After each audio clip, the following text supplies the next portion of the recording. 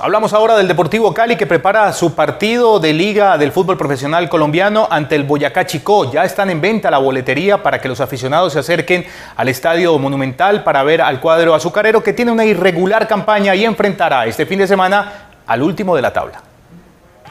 En el conjunto verde y blanco, el volante Abel Aguilar fue autocrítico por la mala campaña que cumplen, que los dejó eliminados de la Copa y los tiene en la casilla 10 de la Liga. Después de la eliminación de la Copa quedamos, quedamos tocados porque fue una situación bastante complicada, entonces hay que seguir trabajando, no nos podemos dejar caer ante nada. Aguilar reconoce que no hay margen de error para el equipo, que necesita sumar mínimo 14 puntos para estar en los cuadrangulares. Pero nosotros tenemos muy claro lo que hacemos, lo que no hemos hecho y lo que, lo que tenemos que hacer y lo que tenemos que mejorar. Este es un grupo que, que trabaja, que tiene actitud.